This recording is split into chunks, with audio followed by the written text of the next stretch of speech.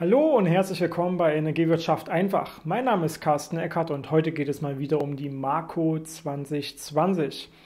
Äh, zum Zeitpunkt der Aufnahme dieses Videos haben wir noch ungefähr einen Monat, bis die Marco 2020 in Kraft tritt. Und ich möchte gerne mal zusammenfassen, wie geht das eigentlich wirklich los? Ähm, also wie startet die Umsetzung der Marco 2020 dann auch wirklich operativ? Und was müssen wir über die ersten Monate eigentlich ganz konkret erwarten, was denn dann so am Markt passiert? Schauen wir erstmal, was läuft jetzt eigentlich schon vorab. Natürlich die IT-seitige Implementierung der Funktionen, die die Marco 2020 so mit sich bringt. Es ändern sich ja verschiedene alltägliche Prozesse, zum Beispiel fällt die Zuordnungsliste für Strom weg. Es ändern sich Sachen in der Netznutzungsabrechnung durch den dazukommenden Lieferschein und wir haben zum Beispiel Fristenänderungen im Lieferantenwechsel und in Stammdatenprozessen. Das Ganze muss natürlich IT-systemseitig umgesetzt werden und zwar natürlich vor dem Start. Das heißt, das läuft jetzt gerade und das sollte auch spätestens im November fertig implementiert werden damit der Start, der offizielle Start zum 1.12.2019 auch ordentlich stattfinden kann.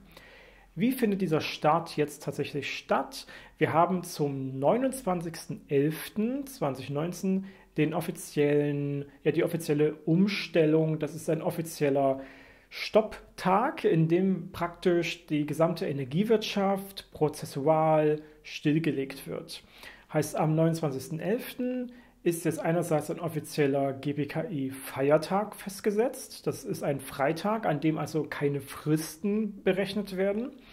Und andererseits ist dieser Tag eben auch explizit dafür gedacht, dass da die allerletzten Anpassungen laufen. Denn das ist der letzte Freitag vor dem offiziellen Start der Marco 2020. Heißt ganz konkret, am 28.11., am Tag davor, muss man um 12 Uhr mittags aufhören, ganz neue Meldungen in die Energiewirtschaft hinauszuschicken. Und 24 Uhr in der Nacht muss man aufhören, Antworten zu schicken.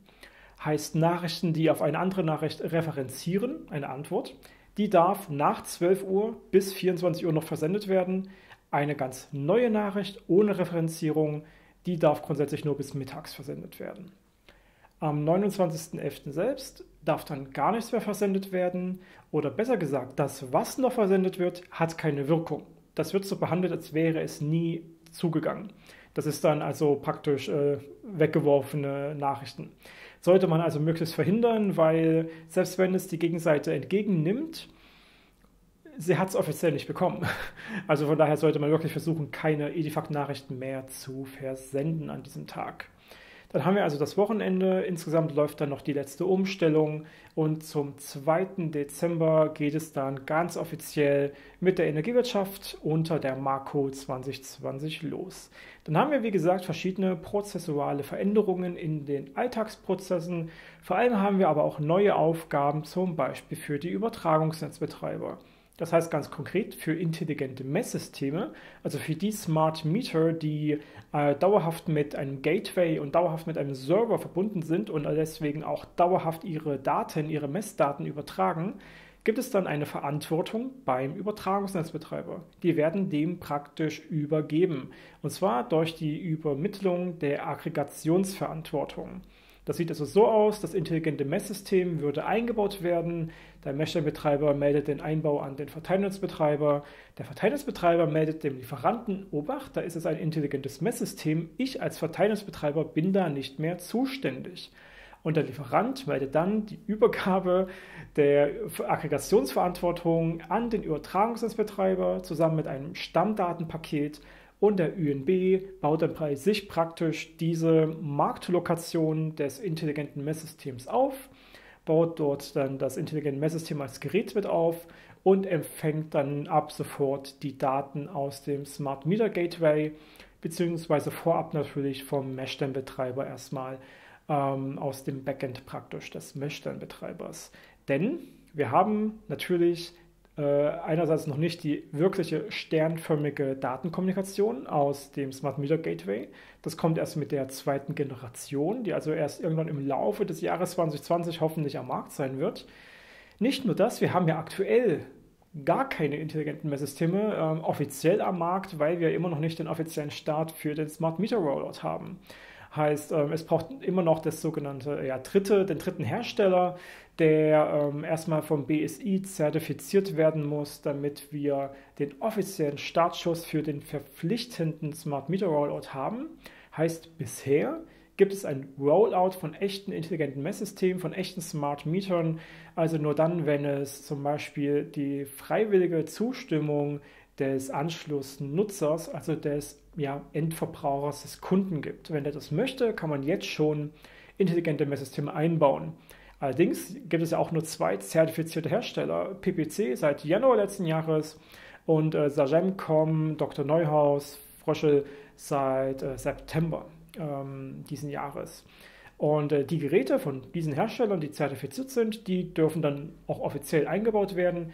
Andere Geräte, wo die noch nicht unbedingt zertifiziert worden sind, die jetzt aber schon eingebaut worden sind im Rahmen dieser freiwilligen Geschichte, die haben zumindest erstmal noch eine, ja, eine gewisse Sicherheit, weil die einen Bestandsschutz dann haben werden, sobald der offizielle Rollout startet. Die dürfen bis zu acht Jahre dann noch eingebaut bleiben. Heißt also schlussendlich, der Einbau findet dann irgendwann mal statt. Wir haben irgendwann intelligente Messsysteme. Diese senden dann natürlich ihre Echtzeit-Auslesungen alle 15 Minuten und die kommen dann eben beim Übertragungsnetzbetreiber an. Der ÜNB muss dann erstmals mit wirklichen Massenprozessen arbeiten, die also im Alltag laufen. Der war in der Vergangenheit nur als ja, Bilanzkoordinator Teil dieser alltäglichen energiewirtschaftlichen Prozesse und als Bilanzkoordinator war er ja eher eine Aufsicht und hat schlussendlich geprüft und dann äh, eine Endabrechnung über die Bilanzierung gemacht. Ansonsten war er ja eher als ja, schlussendlich der Ausbauer der Stromnetze, als auch Aufsicht über die Netzfrequenz ähm, unterwegs, hat also wenig mit den Alltagsprozessen zu tun gehabt. Dann äh, muss er natürlich verschiedene Bilanzierungsprozesse schlussendlich starten im Austausch mit Bilanzkreisverantwortlichen und mit Netzbetreibern und auch mit Lieferanten gibt es dann verschiedenste Clearing-Listen zum Beispiel, die geschickt werden, Summenzeitreihen, die da herumgeschickt und geprüft werden müssen.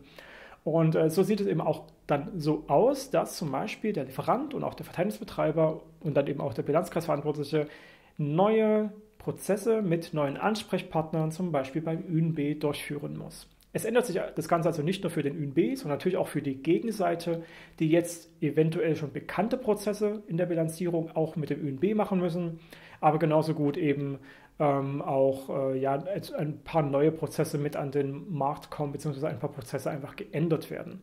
Das heißt, die Marco 2020 ändert schon relativ viel für den Alltag der Energiewirtschaft in Deutschland.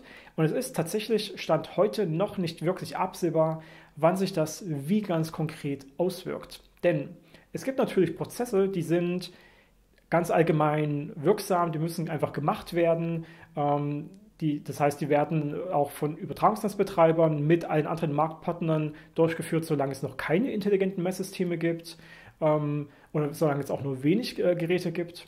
Aber es gibt natürlich auch Prozesse, deren tatsächlicher Aufwand dann mit der Anzahl der intelligenten Messsysteme am Markt steigen wird.